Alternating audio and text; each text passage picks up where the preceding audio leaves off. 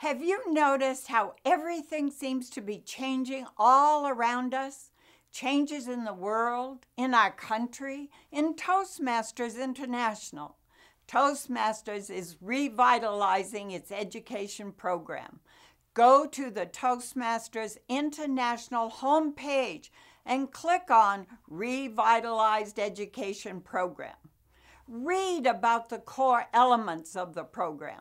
Read about using the powerful tool of technology. Read how you will be able to access educational materials through mobile web applications. Read about the exciting things to come through expanded digital content and videos. District 3 is changing too. This year, you will be hearing a lot more about OTMOTY. Outstanding Toastmaster of the Year. Please go to aztoastmasters.org and on the homepage, go to Recognition. Move down to Annual Awards. With Annual Awards highlighted, drag your mouse over to the listing on the right and click on OTMOTY. And you will see a picture of Lisa Corwin and her mom holding the huge OTMOTY trophy. On the right of that page, you will see three different Outstanding Toastmasters nomination forms for Outstanding Toastmaster, Outstanding Area Governor, and Outstanding Division Governor. Print a copy of this form and keep it with you throughout the club year. Jot down what you're doing in Toastmasters. Jot down about yourself. Jot down about your Toastmasters friends. When we arrive at July 7, 2015, every member should have one of these forms filled out with your activities and another filled out for a fellow Toastmaster. District 3 recognizes the Outstanding Toastmaster of the Year for each of the 44 areas, eight divisions, and district level. Let's make it a banner year for Outstanding Toastmasters Awards. Are you a member of the coolest club in District 3 state of Arizona? If you are, toot your horn.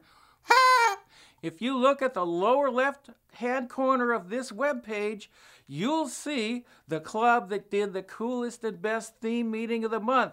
Your club can do better. Let us know about it. Send an email to dcp at aztoastmasters.org and let us know. You could even invite back members who went on vacation over the summer and haven't returned. So, what happens if they do return?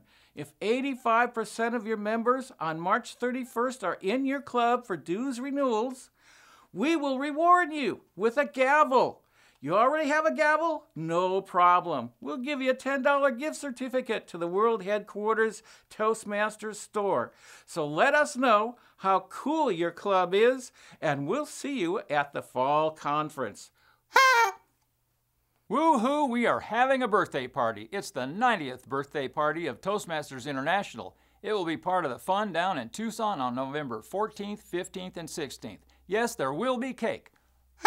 there will be candles, more candles than you could shake a stick at. Friday evening will also be a dinner catered by five-star chefs who are working on the menu as we speak, and a DTM ceremony with, you guessed it, more candles. We will have the district finals of the Table Topics contest followed by a murder mystery, we think it will be an imaginary murder. Be a part of the murder and its solution. On Saturday, enjoy the raffle, the educational sessions, the Hall of Fame luncheon, where there will be more pins than you can shake a stick at.